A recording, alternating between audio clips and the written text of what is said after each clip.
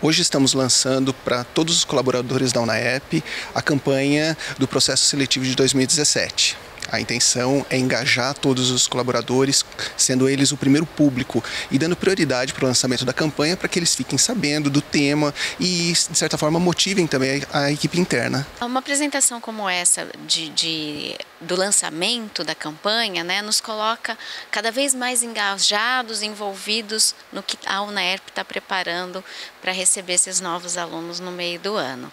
E, e nos faz cada vez mais presentes, porque mostra a importância do corpo docente, da coordenação, dos funcionários. Então acredito que todo mundo saia mais motivado. Cada campanha que a gente faz é um filho que a gente fala e as expectativas são sempre melhores, né?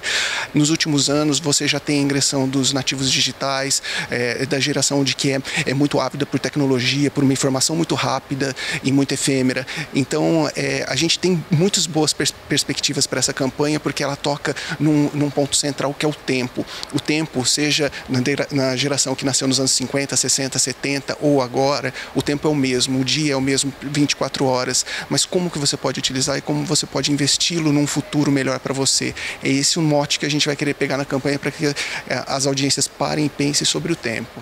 Eu acho que não só a nova campanha nós mostramos hoje, como a trajetória de comunicação da Universidade de Ribeirão Preto, a tríade na qual nós nos baseamos para fazer as peças de comunicação. É o envolvimento, é o compromisso, o comprometimento de toda a equipe de colaboradores, de docentes, de coordenadores dessa universidade em prol do processo seletivo da universidade.